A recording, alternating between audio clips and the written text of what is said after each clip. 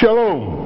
Sebentar lagi Evangelis Bruce Sumendap dan Pendeta David Panjaitan mencoba merangkumkan pelajaran sekolah sahabat.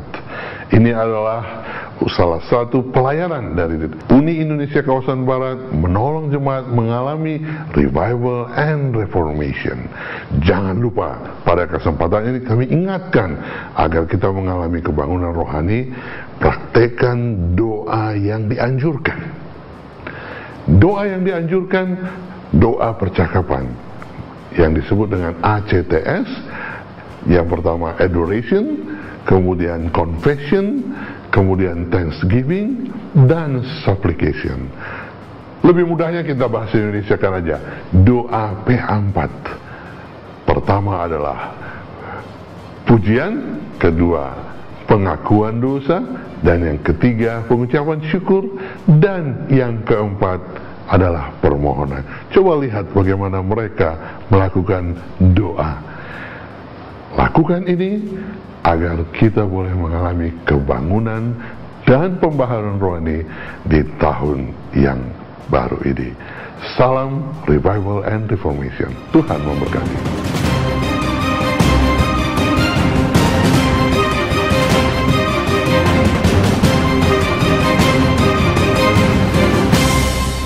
Shalom pemirsa di mana saja Anda berada. Apa kabar Anda hari ini? Mudah-mudahan dalam keadaan baik dan sehat di dalam lindungan Tuhan.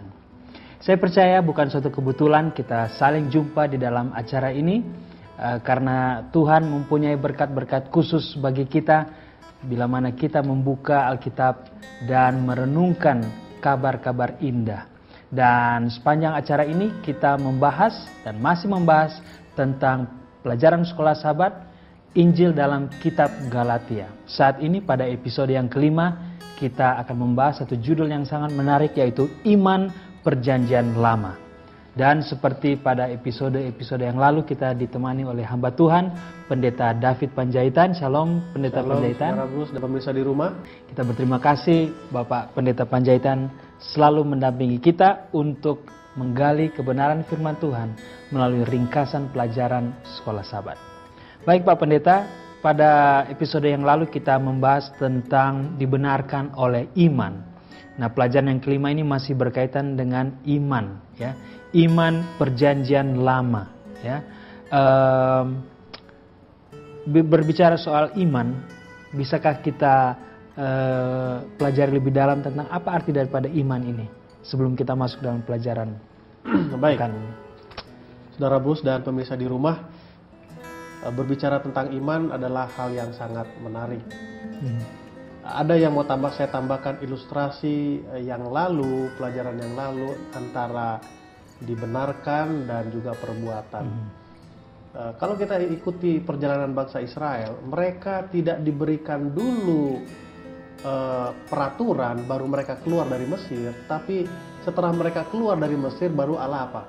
Berikan aturan main apa yang harus mereka hidupkan mm-hmm. setelah mereka keluar dari mana? Mm-hmm. Dari dari tanah Mesir. Tanah Mesir. Tanah Mesir. Oke. Okay.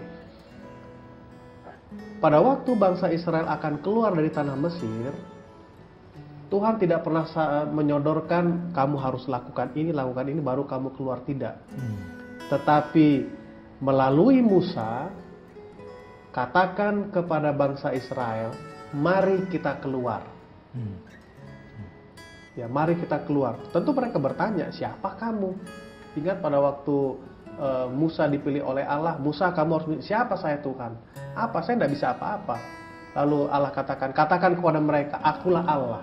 Hmm. Artinya Musa ingin menunjukkan otoritasnya hmm. bahwa Allah lah yang memilih memilih memilih dia untuk memimpin bangsa Israel keluar dari tanah apa? Mm-hmm. Tanah Mesir. Itulah peran iman itu. Mm-hmm. Apa respon bangsa Israel pada waktu Allah memanggil? Kenapa Allah memanggil? Karena mereka dibenarkan, diperhitungkan benar di hadapan siapa? Di hadapan Allah. Itu salah satu bukti daripada apa? Uh, arti kata iman. iman. Dan memang hmm Alkitab katakan Ibrani 11 ayat yang pertama itu adalah apa? Berbicara tentang tentang tentang iman. Jadi tidak benar kalau orang katakan konsep iman dan dibenarkan oleh iman itu hanya muncul pada perjanjian baru ya. Oh pendeta. tidak, tidak. Ternyata dalam perjanjian lama, dalam kehidupan umat Tuhan, eh, umat pilihannya sendiri di sana eh, kita temukan bahwa iman itu eh, sangat krusial dalam kehidupan eh, umat Tuhan. Benar. Baik, saya tambahkan sedikit Saudara Bruce. Kalau kita lihat pelajaran hari Rabu di eh, tulisan yang tebal di bagian kedua di bawah di sana, contoh lain apakah yang Anda dapat temukan dalam perjanjian lama tentang keselamatan hanya oleh iman saja? Mhm. Ya, Yes. Tadi pengalaman bangsa Israel ini ada beberapa ayat sudah saudara boleh baca dari Imamat 17 ayat 11, Mazmur 32 ayat 1 sampai 5, 2 Samuel 12 ayat 1 sampai 13 dan Zakaria 3 ayat 1 sampai 4. Itu membuktikan bahwa dibenarkan oleh iman tidak hanya muncul di dalam perjanjian baru saja tetapi sudah muncul dalam perjanjian lama dan itulah yang diangkat kembali oleh Rasul? Rasul Paulus. Rasul Paulus kepada jemaat di Galatia pada umumnya dan jemaat kita pada khususnya sekarang ini. Di dalam hari Rabu eh, hari Rabu juga kita mendapati bahwa Rasul Paulus memunculkan satu tokoh yang besar Benar. yaitu kita jumpai di sana Abraham. Mengapa Abraham yang menjadi contoh eh, yang digunakan Paulus dalam menerangkan iman kepada gereja di Galatia? Baik, kalau diambil contoh orang Indonesia, orang Galatia nggak kenal tentang siapa orang Indonesia. Iya. Kenapa Rasul Paulus ambil eh, eh, Abraham? Abraham. Karena Abraham adalah tokoh sentral bagi orang Kristen Galatia. Sambil contoh saja saudara Bruce dan pemirsa di rumah. Kalau kita berbicara tentang eh, semangat orator, mungkin kita kenal dengan Presiden Soekarno. Ya saya pikir semua orang kenal Presiden Soekarno. Proklamator. Proklamator. Kalau disebut Bapak Pembangunan, Soeharto. Soeharto. Tapi jangan bicara Bapak Pembangunan Soeharto di negara lain, mereka nggak ngerti itu. Ya kenapa eh, Rasul Paulus mengambil contoh Abraham? Karena itulah yang dikenal oleh orang-orang Kristen di Galatia. Galatia. Tetapi ada tetapinya. Mereka kenal, mereka ini adalah orang-orang Kristen di Galatia kenal tentang Abraham dari perbuatannya. Betul. Nah, sedangkan Abra- eh, Rasul Paulus memperkenalkan kembali Abraham kepada mereka bukan dari perbuatannya, tapi diperhitungkan benar imannya di hadapan Tuhan. Jadi, Paulus mau merubah pola berpikir orang-orang Galatia, dia ambil contoh atau tokoh yang sentral atau tokoh yang banyak mempengaruhi atau tokoh yang banyak dikenal oleh orang-orang Galatia, yaitu siapa? Abraham. Abraham. Dia tidak ambil contoh yang lain. Kalau dia ambil contoh yang lain, ingat pelajaran kita yang pertama bahwa Paulus ingin menerangkan otoritasnya. Kalau diambil contoh yang lain, nah lihat kan, diambil contoh yang lain tapi dia mau membuktikan, mau men- eh, menunjukkan bahwa apa yang dia sampaikan itu adalah berdasarkan firman Tuhan. Mhm. Dia ambil contoh yang apa? Yang sama. Jadi sangat penting bagi kita kalau menerangkan sesuatu menggunakan konteks yang Benar. mereka pahami dan diterima secara Benar luas. sekali. Nah, tadi soal Abraham ini berarti kita melihat bahwa Paulus melukiskan seorang Abraham yang berbeda eh, di dalam pikiran. Jadi apa yang sosok Abraham yang selama ini diyakini oleh orang-orang Gal- Galatia adalah berbeda dari apa yang diperkenalkan Paulus. Benar Ya. sekali. Ah, jadi sebetulnya bukan perbuatan itulah yang menjadi sorotan, tapi iman. Perbuatan itulah hasil daripada iman. Tetapi kenapa di dalam Galatia pasal eh, pasal 3 kita dapati ada teguran yang begitu keras ya dari Rasul Paulus.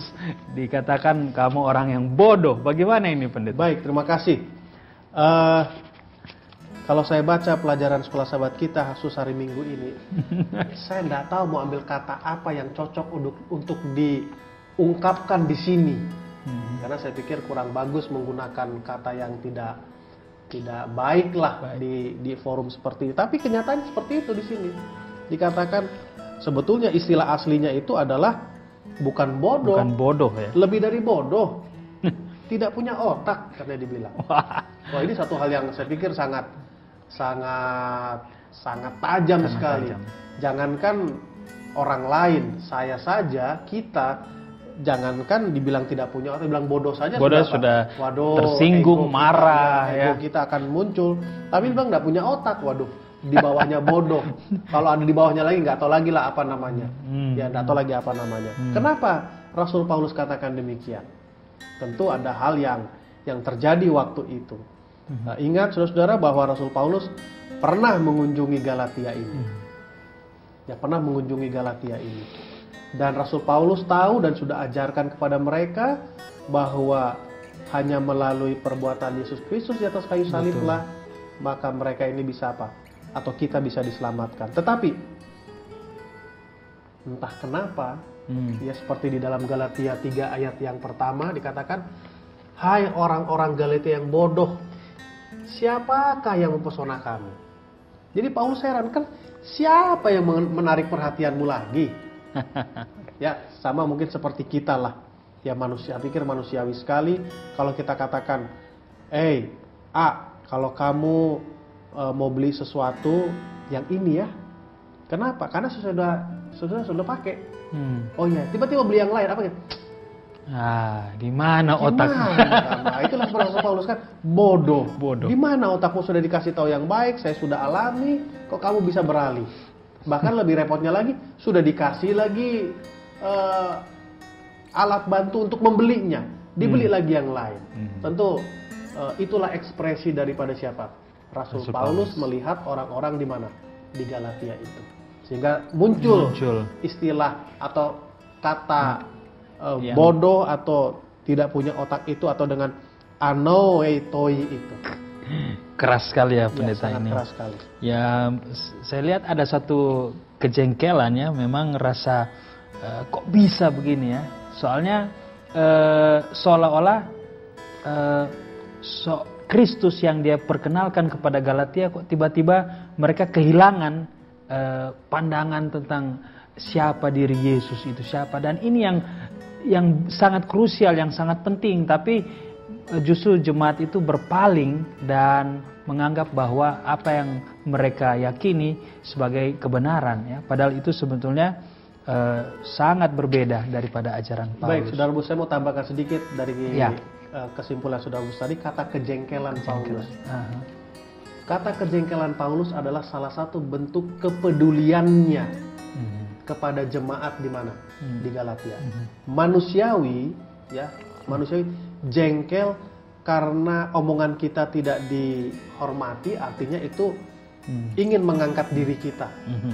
Tapi kejengkelan Paulus itu sangat jauh berbeda dengan apa yang saya sampaikan tadi. Mhm. Kejengkelan Paulus adalah bentuk kepeduliannya supaya jangan jemaat ini apa? Hilang. Hilang, betul. Itu bentuk daripada kejengkelan Rasul Paulus seperti pelajaran eh, episode yang lalu mengatakan bahwa hidupku bukan diriku lagi, tapi hidup dagingku adalah siapa? Yesus, Hmm. Yesus Kristus. Kristus. Hmm. Seperti ayat inti di episode yang lalu. Nah, eh, dalam perjalanan hari Senin kita lihat bahwa eh, pembenaran oleh iman itu bukan saja di, diajarkan oleh Paulus, tapi itu adalah eh, ajaran yang eh, disebarkan oleh semua rasul saat itu ya pendeta ya. Ya, betul. Disetujui oleh rasul, kita lihat dalam Galatia 2 ayat 1 sampai 10, kemudian juga eh, pengalaman pribadi dari Rasul Paulus Galatia pasal 3. Ah, jadi ini bukan bukan suatu teologia atau konsep yang hanya dimiliki oleh Paulus, tapi hal ini juga diajarkan oleh rasul-rasul pada zaman itu ya, pendeta ya. Ada ada lagi kira-kira pendeta yang mau ditambahkan tentang hmm, eh, Injil dalam Perjanjian Lama tadi? Mungkin Baik, belum terima selesai. kasih. Eh, yang mau saya tambahkan Saudara Bruce adalah tadi Saudara Bruce katakan bahwa di pelajaran hari Senin eh, rasul-rasul eh, juga menyampaikan eh, pekabaran, Pekabaran yang, yang sama, sama. Yang disampaikan oleh siapa? Rasul Paulus. Kalau saudara-saudara ingat beberapa episode yang lalu saya katakan bahwa bukan orang itu tidak mengerti tentang pengajarannya, tapi karena orang itu meragukan siapa? Otoritas. otoritas daripada Rasul, Paulus. Saya punya penga- sebuah pengalaman, saudara Bruce. eh, saya waktu itu masih pendeta muda, jadi saya belum diurapi, tapi sudah menikah, baru menikah sekitar 2-3 bulan begitu. Kebetulan saya melayani di kota di mana kota itu ada kantor daerah. Jadi eh, biasa kalau anggota dekat kantor daerah itu ya sering-sering datang ke mana ke kantor daerah. Eh, satu pagi ada seorang bapak anggota jemaat. Eh, maaf seribu kali maaf saya mau katakan ini, bapak ini eh, ekonominya di bawah rata-rata. Lalu dia sampaikan eh, kata-kata teguran yang saya pikir sangat bagus sekali waktu itu untuk kami. Kami dalam arti eh, para pendeta. Mhm. Ya secara jujur kami waktu itu tidak dengar dia karena apa? Siapa ini? Mhm. Siapa ini? Siapa ini? Orang eh, makan saja susah, rumahnya saja mau rubuh. Mhm. Lihat hal yang sama lah yang terjadi kepada jemaat apa? Galatia. Galatia. Diragukan otoritasnya. Sehingga di pelajaran hari Senin ini bahwa apa yang disampaikan oleh Rasul Paulus, apa yang disampaikan oleh rasul-rasul yang lain juga sama-sama bersumber dari apa? Buku Alkitab yang waktu itu adalah perjanjian Perjanjian. perjanjian lama. lama. Baik. Tentang perjanjian lama ini kita kembali lagi ke perjanjian lama. Tidak apa-apa ini pendeta ya, Ya, kita lompat-lompat Ya, dan silakan. eh, kembali lagi ke Abraham. Saya senang dengan kehidupan eh, Abraham ini. Dia dalam iman kalau kita taruh di dalam grafik itu ada naik turun naik turun gitu ya pendeta ya. Nah, satu hal yang menarik di sini eh, bahwa iman itu berdasarkan pada perjanjian Allah dan Abraham ya. Kalau sahabat dia katakan pelajaran, pelajaran hari Rabu. Perjanjian siapa? Ternyata itu adalah perjanjian Allah kepada siapa? Kepada Abraham. Dicatat di sana Alkitab katakan eh, Allah katakan aku akan, aku akan, aku disebutkan beberapa kali. Jadi saya lihat eh, di sini pihak Allah yang dominan, Allah yang menjanjikan, tapi tidak ada pihak Abraham yang menjanjikan ya se- secara normal sebenarnya saya katakan pendeta eh, saya akan kasih eh, kue sama pendeta. Jadi respons dari pendeta, oke kalau begitu berikut mungkin saya akan kasih eh, kue juga dalam bentuk. Jadi eh, timbal balik. Tapi kalau dalam konsep eh, Injil ini, da- konsep iman, bahwa perjanjian itu hanya bersumber dari Allah, Allah sendiri. Dari Abraham, dia enggak, enggak ada kita dapatkan janji Abraham kepada Allah. Mungkin ada yang bisa Baik, tambahkan soal ini. Ini pertanyaan yang sangat mendasar sekali. Dan konsep ini dimulai bukan hanya waktu zaman Abraham. Hmm. Ingat buku Kejadian pasal 3, Allah yang lebih dahulu mencari Adam. Adam. Itu poin pertama. Lalu yang kedua, Allah terlebih dahulu yang membuat perdamaian antara Allah dan Adam. Dengan cara apa? Mari kita buat bajumu Mhm. dari kulit domba ini.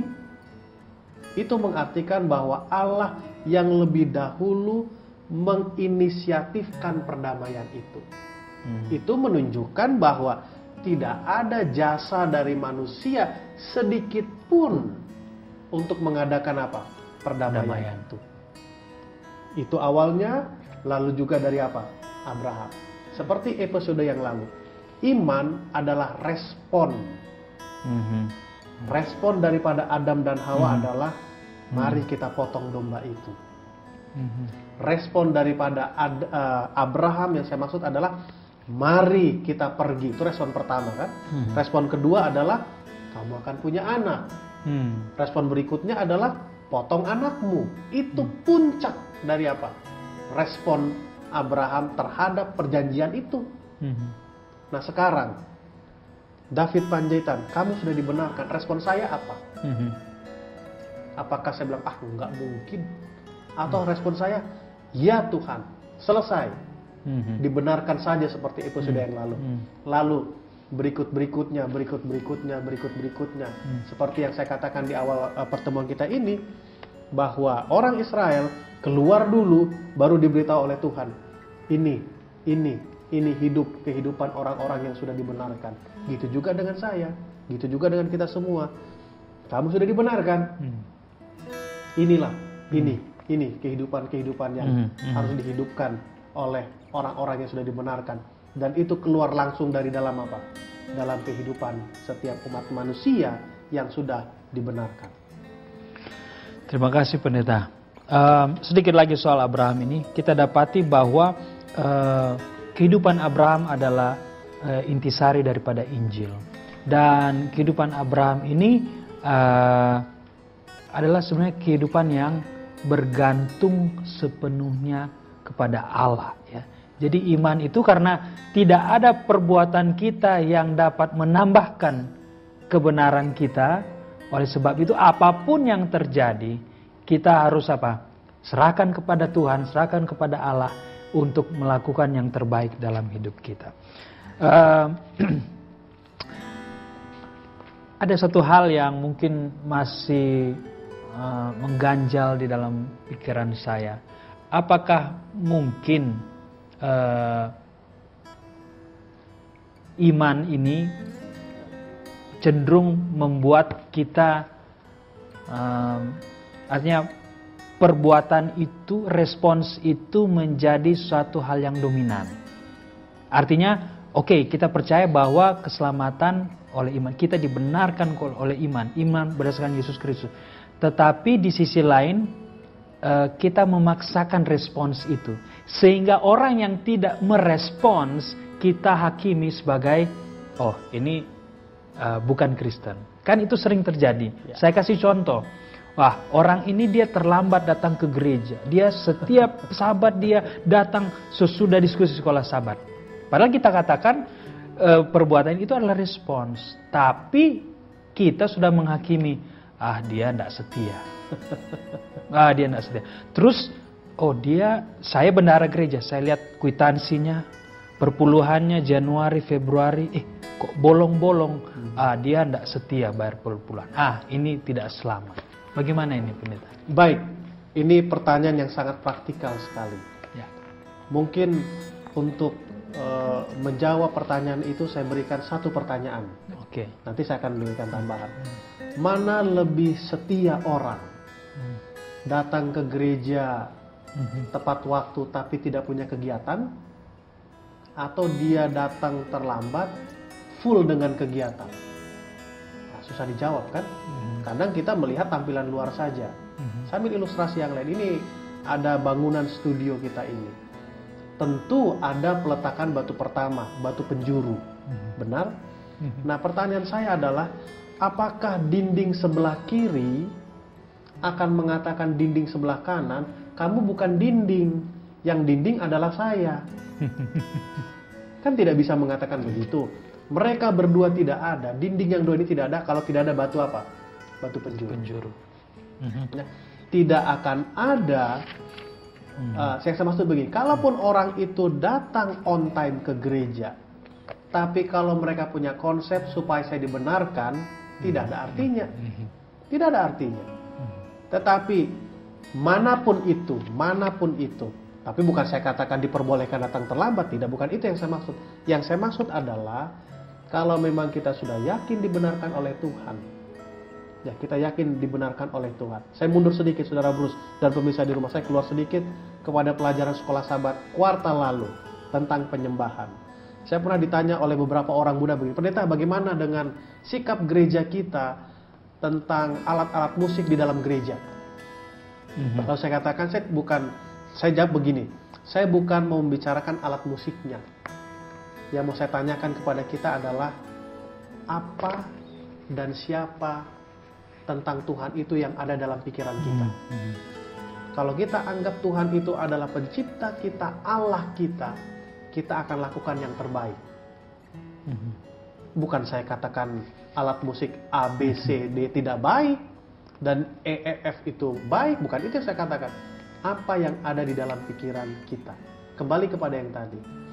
Hmm. Apa yang ada dalam pikiran orang-orang yang on time datang ke gereja? Mhm. Apa yang ada dalam pikiran orang-orang yang mungkin belum bisa on time datang ke gereja Mhm. tentang datang ke gereja? Kalau mereka katakan, "Wah, saya biar tambah baik, oh tidak ada artinya juga. Tidak ada artinya juga. Yang paling penting kembali kepada yang tadi. Hmm. Apa yang ada dalam keyakinannya, imannya itu, responnya itu. Apakah sudah dibenarkan? Saya percaya saudara Bruce dan bisa di rumah. Kalau saya punya keyakinan dibenarkan oleh Allah. Mungkin saya akan datang lebih cepat di gereja dari waktu yang diumumkan. Amin. Karena kita merasa Ya. apa? Merasa sangat, waduh, saya memang betul-betul harus bersyukur. Betul-betul harus menunjukkan bahwa saya berterima kasih. Karena saya sudah dibenarkan. Iben- Itulah buah-buah yang dimaksud dalam Alkitab akan kita akan berbuah Benar. dan itulah buah daripada eh, iman kita. Itulah yang diinginkan oleh gereja kita. Revival, reformation, Reformation. itu. Reformasi, reformasi untuk misi. Itulah yang harus kita rubah. Ya, ya. Jadi kebangunan dan reformasi. Memang reformasi itu tidak bisa kita sebutkan hanya suatu eh, moto, satu slogan. Kan reformasi itu kan perubahan ya, Pendeta, per- perubahan. Dan satu hal yang eh, sering disoroti eh, berkaitan dengan pelajaran ini, disoroti gereja kita adalah eh, justru karena kita begitu bersemangat di dalam kebenaran oleh iman ini kita lupa untuk berbuat sesuatu untuk orang lain. Apakah itu uh, menolong orang-orang yang susah, tetangga kita ada yang memerlukan bantuan. Uh, banyak orang yang mengeluh, kok ini uh, Advent ini kalau berbicara soal Alkitab nomor satu. Tapi kalau mau membantu, semua dikesampingkan kepada lembaga ya. Itu harus ada aturan dan ini eh, sangat ya prihatin juga penilaian ini sebetulnya saya kira tidak eh, tidak tepat. Artinya perbuatan baik itu kan tergantung masing-masing orang. Seperti episode, episode lalu ukuran kebaikan seseorang jangan saya ukuran ukuran kepada diri saya, tapi eh, diukurkan kepada Alkitab. Bagaimana nih pendeta? Baik. Ini untuk praktis ya. Untuk, Benar sekali. Secara Dan praktis. itu pertanyaan yang saya sangat suka. Hmm. Kebetulan beberapa waktu yang lalu saya mengunjungi satu jemaat di satu kota Hmm. dan saya diminta untuk membuat seminar khusus kepada orang muda. Jadi isi seminar itu begini. Salah satu penyebab orang muda Advent keluar dari gereja adalah kurangnya perhatian. Hmm. Ya, saya pikir kalau orang tidak diperhatikan itu akan lambat laun keluar dari mana? Dari gereja. Siapa pun itu, apalagi orang Mhm. orang muda. Lalu saya katakan begini, saudara-saudara sekalian, saya bilang, kenapa kita harus jauh-jauh melihat melihat eh, orang untuk ditolong? Terus saya tanya, coba cari tahu berapa banyak orang muda di gereja ini Mhm. yang kos. Hmm. Lalu coba tanya, apakah tadi pagi makan Hmm. atau bagaimana uang kosnya? Hmm. Coba itu dulu pikirkan, nggak usah pikir harus ada bencana alam dulu di Betul. sana, harus ada SK dulu dari Uni untuk mengumpulkan persembahan, nggak usah yang jauh-jauh lah.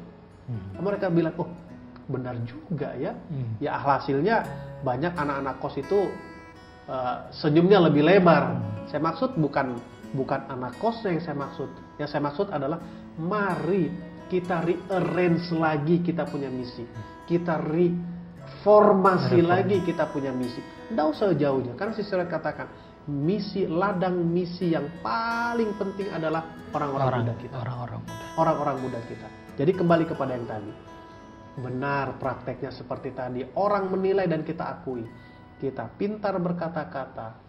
Kita pintar berdiskusi untuk mempraktekkannya. Tunggu dulu. Tunggu dulu. Itulah yang diharapkan oleh pimpinan kita. Yang diharapkan oleh Sister Life. Revival, Reformation, for mission. Formation. Mari misi itu kita perbaiki lagi. Mari misi itu kita apa? Revival kembali. Nggak usah jauh-jauh. Yang dekat-dekat saja, yang dekat-dekat saja. Baik, terima kasih Pendeta Panjaitan. Eh, tidak terasa waktu berjalan begitu cepat, tidak banyak lagi kesempatan untuk kita lanjutkan, tapi jangan lupa ikuti terus pembahasan ini pada episode-episode selanjutnya dengan topik-topik yang menarik. Terima kasih kepada semua pemirsa yang sudah mengikuti acara ini dan semoga ini boleh membangun iman dan kerohanian kita sekalian. Pendeta Panjaitan, mari kita berdoa. Kita berdoa, puji syukur kembali padamu Tuhan, karena begitu ber- besar berkat yang kami rasakan yang Tuhan telah berikan kepada kami. Amin. Kami bisa berdiskusi berdiskusi dengan baik Tuhan. Hanya melalui iman saja Tuhan. Kami yakin bahwa kami telah dibenarkan Tuhan. Kiranya kabar baik ini akan semakin menghangatkan kerohanian kami ya Tuhan. Berkati seluruh pemirsa di mana pun mereka berada. Berikan segala kebutuhan mereka, bukan keinginan mereka itu Tuhan. Semakin mereka di, uh, diyakinkan bahwa Tuhan begitu peduli kepada orang-orang yang Engkau cintai ya Tuhan. Amin. Berkati kami dalam segala aktivitas kami. Di dalam nama Tuhan Yesus kami berdoa dan ucap syukur. Amin. Amin.